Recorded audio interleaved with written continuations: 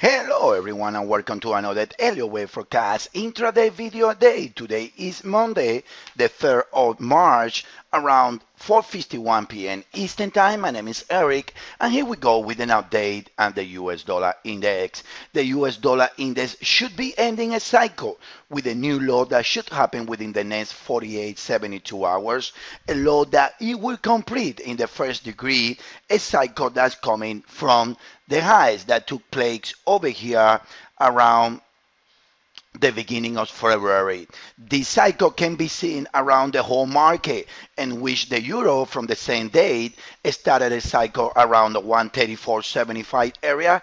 That cycle should be ending with the new low in the US dollar index. The index has taken a weight of a double correction, a double correction that runs link seven swing, one, two, three, four, five, six, and seven.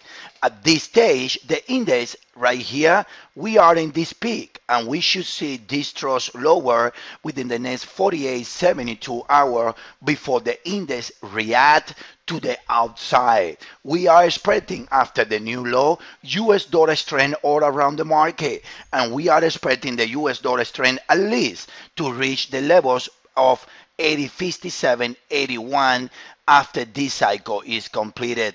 The structure is a double correction in LOA, which is ABCW, ABCX, A, a B and the C. So selling the index around 8013, 8024, looking an extension of 7920 to the downside, it can be a profitable trader as far as the highs on 8057 remains in place. So in the shorter runs, we see a consolidation with more weakness in the dollar when the dollar should end a cycle and then the dollar should react. As always, Elliott Wave Forecast here to provide the buyers and to provide you guys the right side of the market.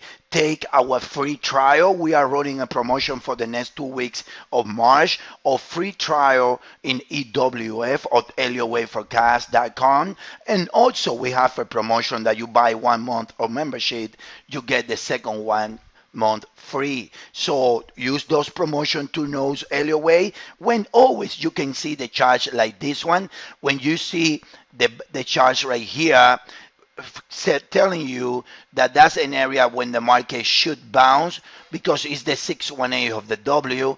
And the charts right here telling you when to sell the index again and when to take profit as you guys can see. You don't need to be an Elliott expert in order to take this type of, of following the charge because the boxes are gonna guide you through the to the market map, knowing the areas when to enter and when to take profit. So Elliott Wave Forecast here for you guys. Try it out. It's free for two, two weeks and you got nothing to lose. Okay? Thank you. Hope you guys enjoy the video and I see you guys around Elliott Wave Forecast.